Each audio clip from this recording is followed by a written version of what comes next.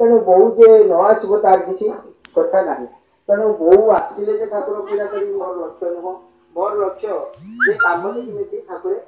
ଠାକୁରଙ୍କ ସର୍ବପ୍ରଥମେ ପୂଜା କରୁଛି ଠାକୁର ସେ କାମ କାମଟି ଯେମିତି ସର୍ବପ୍ରଥମେ ସ୍ୱରୂପରେ ପାରେଇ ଦେବେ ଏତିକି ମୋର କାମ ଏତେ ବଡ଼ କର୍ମ ହଉଛି ଲକ୍ଷ ଲକ୍ଷ ଟଙ୍କାର ଖର୍ଚ୍ଚ ଏପର୍ଯ୍ୟନ୍ତ હું ભૂવા ધરતુલે નતુતા વન્ન કિછી પૈસા ખર્ચ કરી નહીં કે કિણી નહીં ମୋର ନିଜର ଦୁଇ ଭାଇ ଦାଦା ପୁଅ ପାଞ୍ଚ ଛଅ ଜଣ